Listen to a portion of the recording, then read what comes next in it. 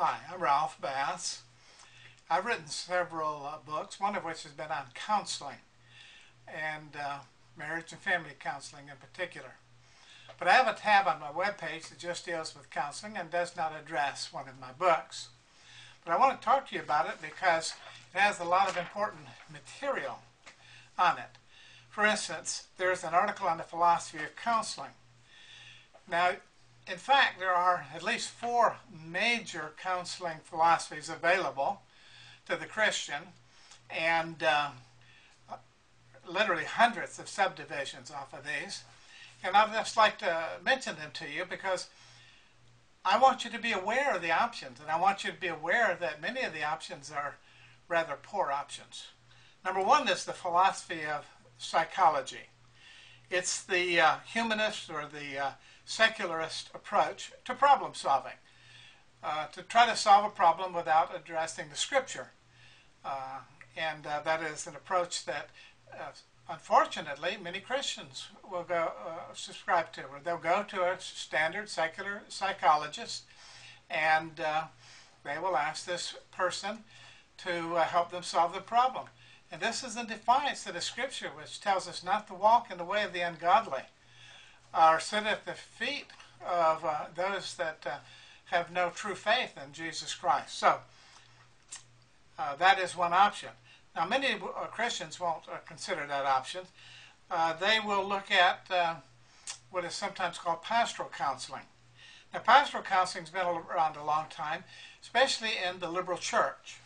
And it will mediate the, the counseling philosophies of unsaved men like Carl Rogers and other liberal and neo Orthodox uh, theologians.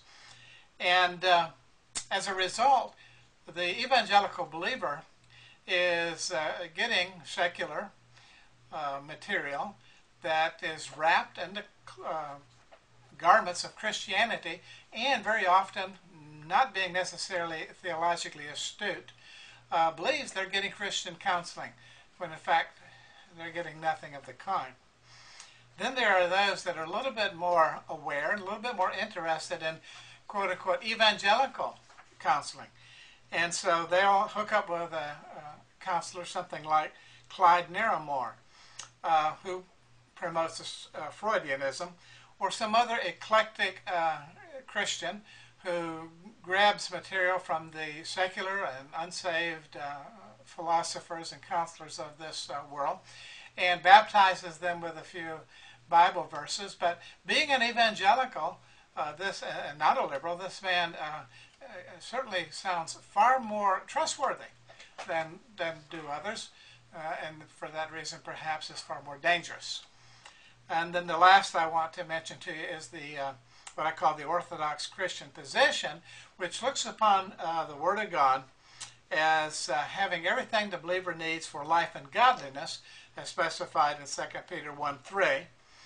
And uh, this is the position that uh, the uh, biblical counselor, the true biblical counselor, takes that uh, all the that the person needs for life that is salvation, is found in the Scripture. All that the person needs for godliness, that is sanctification and, and, and a Christian walk, is found in the Scriptures. And so he's able to use the Word of God skillfully in order to bring uh, the Christian to the point where he understands God's uh, demands on his life and the, the, uh, the help that is found in the Word of God to direct his paths. So that's just one paper that I have on uh, the counseling uh, page, but I want to mention some others in a little bit less detail. Uh, I have a history of counseling. Uh, this is interesting, gives you some context, allows you to put uh, the counseling movement today inside of a, a broader historical context so that you can get an idea of what is sound and what is not sound uh, counseling uh, I deal with the question of why do we even have counseling in the first place in another paper, and uh, deal with uh, a paper called The Moral Model, the Foundation for True Biblical Counseling. I have a paper on why Christians don't go to their pastors for counseling.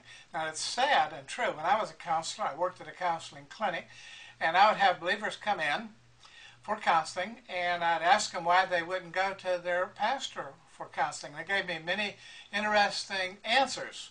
And so this uh, paper will confront those uh, topics of why Christians just refuse to go to their pastors for counseling. Then I have a paper on why pastors don't counsel and won't counsel.